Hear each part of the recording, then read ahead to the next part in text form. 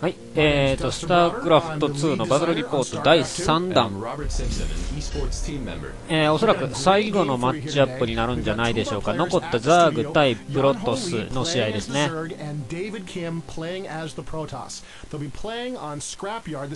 えーと、新しいマップ、スクラップヤードと呼ばれる新しいマップでのプレイ、マップ12時でスタートしたザーグと、えー、間に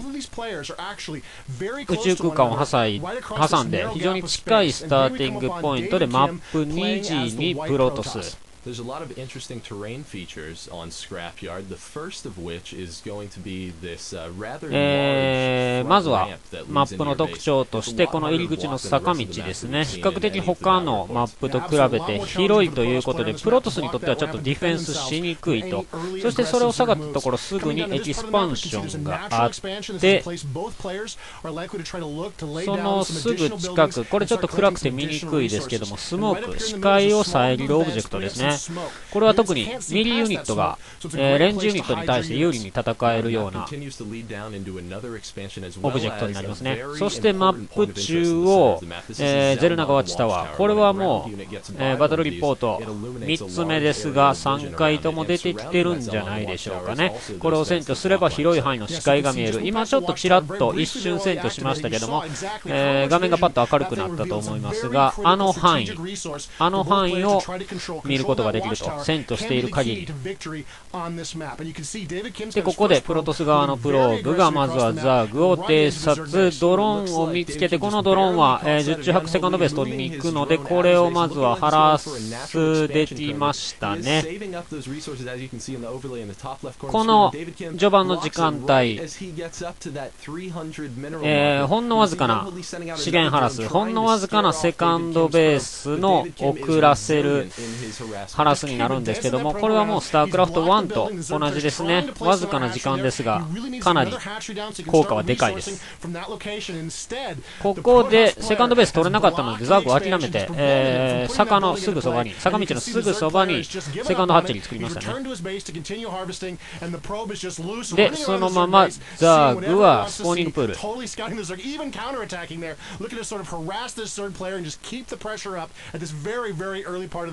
David Kim's doing a great job with that probe right now. For every time that he pulls off just a few of those drones off of Yunho Lee's minerals, it really puts ここで、えー、今オーバーロードが通ってるところなんですけども、マップセンターのゼルナ川地タワーあったところ通らなくても、この岩のオブジェクトがあるところを壊して通れば、すぐ横から殴りかかれるということで、えー、ザーグにとってはユニット数が多いんで、えー、あそこの道を開けるっていうのは非常に有効なのは前作と同じですが、プロトス側もダークテンプラとかのユニットはそのまま存在するので、マルチハラスを入れやすくなりますね。そしてプロトスここで、えー、サイバネティクスコアとアシミュレーター立ててるということで、えー、ストーカー出してくるんじゃないでしょうか。ここでスポーニングプール、これ完成してんのかさあ、ここでようやく、えー、サードハッチェリーとしてのセカンドベース、ようやく確保、ザーグ側。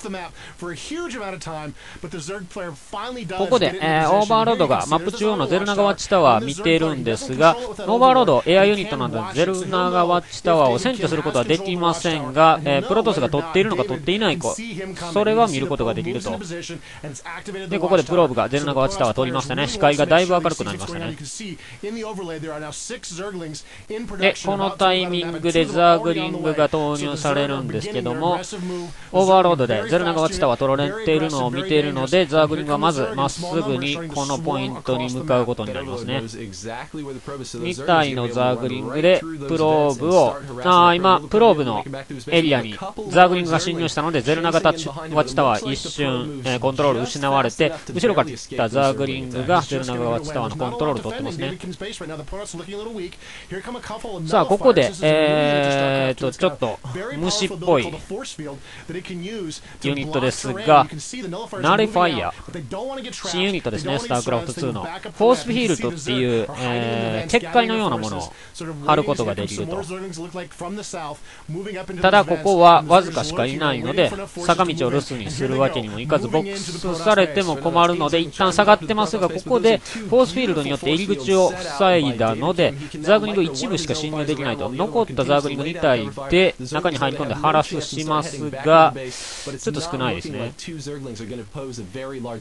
against those nullifiers and all the probes in the base. Even the probes could turn and fight if they needed to, and you can see the Zerglings are trying to remain a threat, trying to harass it. 今の、えー、フォースフィールドの使い方のように、ディフェンスにかなり使えそうなスキルですね。さあ、ここでジロットと合流して、えー、ザーグはこのスモークのところに隠れてたんですが、ここでザーグリングうまく裏道を通って出ましたが、ここでプローブ、セカンドベース取りに来たんでしょう。プローブと入れ違いという形で、プローブはそのままセカンドベース確保。そして、えー、プロトスのユニットが外に出てしまっているので、このままザーグリングは偵察を晴らすを兼ねて中に侵入。しかしこれワープインしてますね。ナルファイアが1体ワープイン。そこで、えー、っと、フォースフィールドで道を防ぐことによってザーグリングのヒットアウェイ、長期にわたってのハラスができないと、しっかりブロックされましたね。フォースフィールドは、えー、ディフェンスにも使える、オフェンスにも使えるということで、ザーグとプロトスだと、ザーグが基本的にプロトスをボックスする、包み込むっていうプレーが基本になるんですけども、これは前作と一緒ですね。ただ、えー、あのフォースフィールドをうまく使うことによって、道そのものの面積を狭くすることができるということで、だいぶその辺は前作と感覚変わってきそうですね。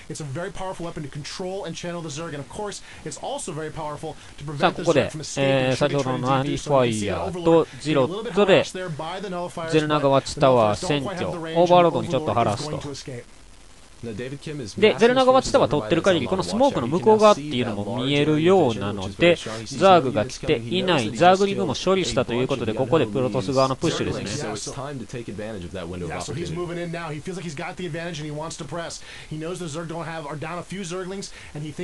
が、ここはザーグがスパインクローラーと、えー、ローチの導入が間に合っているので、ディフェンス余裕で、えー、フォースフィールドで、フ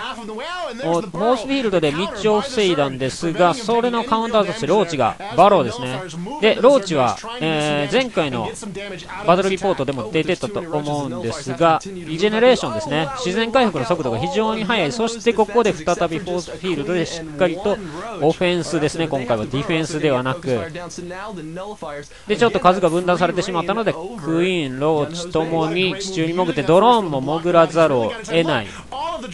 が、ドローン潜らせたので、1体の損失で積んでますね。フォースフィールド再びここで入り口を防いで、もう一度入り口を防いで、最終的にはドローンで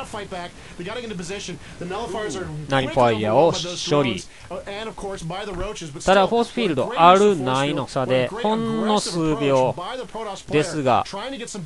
やはり効果は違いますねハラスのでマップの左下ここには別のさっきのセンターのゼルナガワッチタワーとは別のものがあってそのすぐ近くにハイイールドエキスパンション、えー、ユニえー、ミネラルの回収収効率がいいという形ですね。普通のミネラルよりも高いと。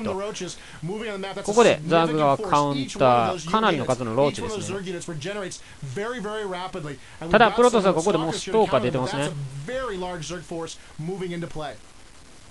So as you can see, the roaches very clearly outnumber all of these stalkers, but we did see David Kim 圧倒的にローチの方が多いですけども、ここはス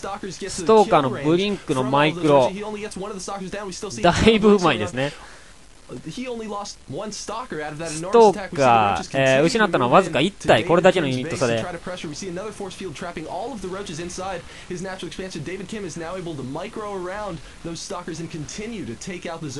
まだブリンクでマイクロ。ブリンクでマイクロしながらユニットがどんどんワープインされていきますね。これはプロトスの新しいスキルですね。ワープイン。えー、っと、パイロンのエリア内であれば、ユニットをワープインさせることができると離れている場所に。これでワープインしてきたストーカーでローチの数だいぶ上回ってきたので、ローチは一旦バック。ここでブリンク、先ほどはディフェンスにブリンク使ってましたが、今回はオフェンスにブリンク使ってますね。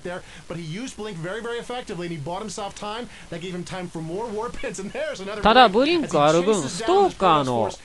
移動速度はやっぱりドラグーンのそれとあまり変わらないように感じますね。ちょっと遅めですね。